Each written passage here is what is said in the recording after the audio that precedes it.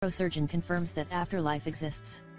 Before we start with this video I would like to ask you a few simple questions, do you believe in life after death?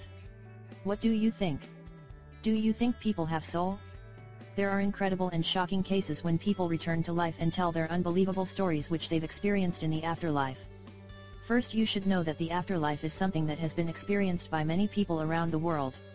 In this video we are going to share with you the unbelievable afterlife experience, experienced firsthand by Harvard-trained brain neurosurgeon for 25 years, Dr. Eben Alexander.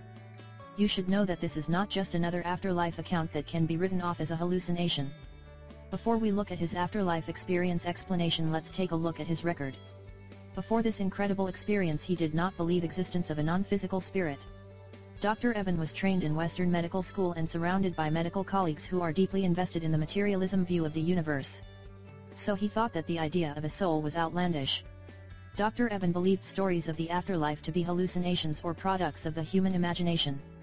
But he changed his mind after he was in a coma for seven days caused by severe bacterial meningitis.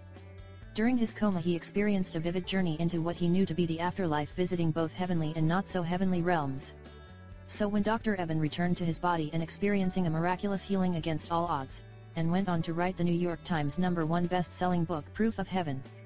So he confirmed that our life here is just a test help our souls evolve and grow, and that the way we succeed in doing so is to proceed with love and compassion. Here are just a few other notable points he made. Eben said that the experience of the afterlife was so real and expansive that the experience of living as a human on earth seemed like an artificial dream by comparison. He also mentioned that the fabric of the afterlife was pure love. He said that love dominated the afterlife to such a huge degree that the overall presence of evil was infinitesimally small. Well this actually means if you wish to know the universe you need to know love. And this is also amazing he said that in the afterlife all communication was telepathic. There was no need for spoken words nor even any separation between the self and everything else happening around you. All the questions you asked in your mind were immediately answered to you telepathically as well.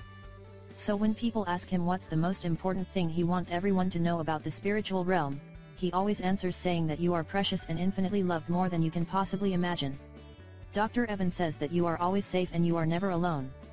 The unconditional and perfect love of God neglects not one soul. Dr. Eben says that love is without a doubt the basis of everything. Not some abstract hard to fathom kind of love but the day-to-day -day kind that everyone knows the kind of love we feel when we look at our spouse and our children or even our animals. In its purest and most powerful form this love is not jealous or selfish but unconditional. You should know that this is the reality of realities the incomprehensibly glorious truth of truths that lives and breathes at the core of everything that exists or will ever exist, and no remotely accurate understanding of who and what we are can be achieved by anyone who does not know it, and embody it in all of their actions.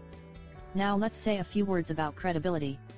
Dr. Eben's neocortex was completely non-functional during the time of his coma due to his severe bacterial meningitis, so there is no scientific account for why he experienced this.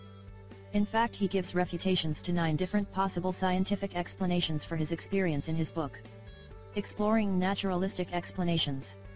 Now we are going to take a closer look at five potential explanations he outlines in Appendix B of his book.